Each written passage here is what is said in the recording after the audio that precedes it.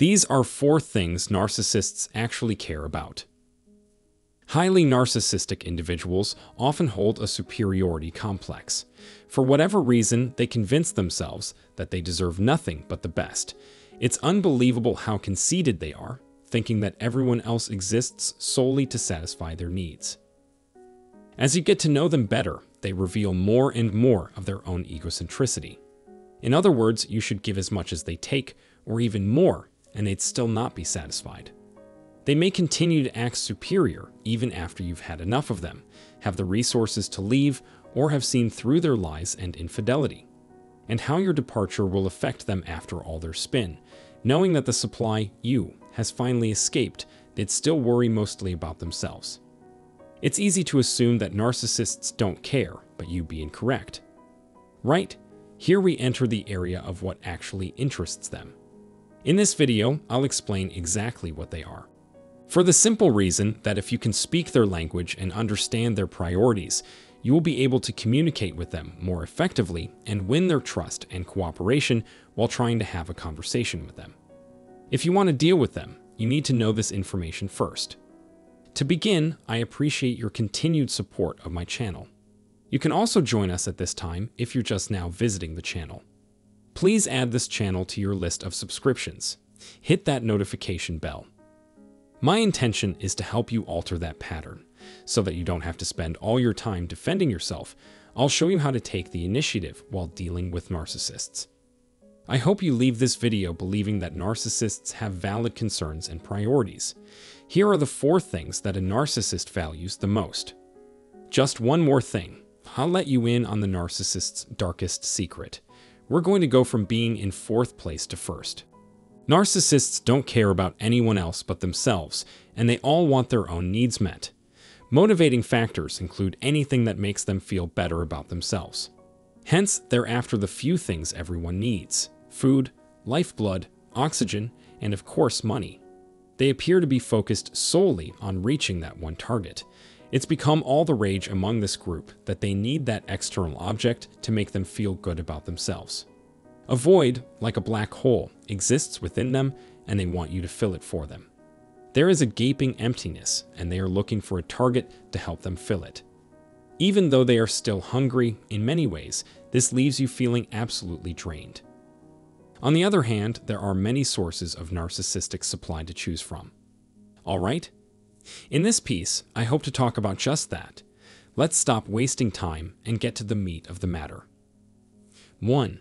They care only for themselves. You never know how they feel about you. It might be as a business partner, a family member, or anything else. Ultimately, though, it's almost like dealing with someone who is in continual survival mode, or with someone who wants to care about you but can't because all they can think about is their own suffering or their own thing that's going on. Simply put, they are unable to do so at this time. Because of this, they simply cannot conjure any empathy at the moment. They are preoccupied primarily with themselves. Secondly, their tangible belongings, which signify your significance to them. You remain important to them so long you're still providing value to them. You remind them of a jar on a shelf, and they want to use whatever they can get from you.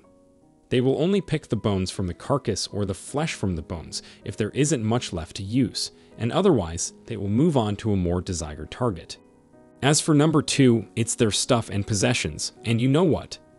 Nobody is allowed to mess with their stuff and act like they have no idea what they're doing. What I mean is that they hoard things in their attics, and they want to keep everything for themselves. This group is a bunch of hoarders. They worry about the lack of resources a great deal to put it frankly. To them, resources are limited, so they will have to take all while they still can. Certainly not the attitude of plenty. For the third thing, they value authority positions highly.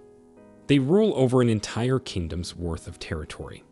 To emphasize the exceedingly wealthy ones, they establish vast kingdoms and defend them fiercely, but they rarely venture beyond their borders because they are content where they have established their lives and, well, you know, Many of them strive so diligently to establish and keep up their monarchies because they wish to exercise control over what they have created.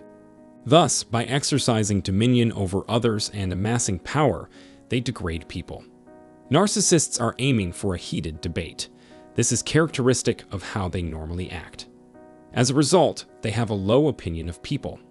They only care about how to maintain control over their position of authority. 4. Their image and reputation.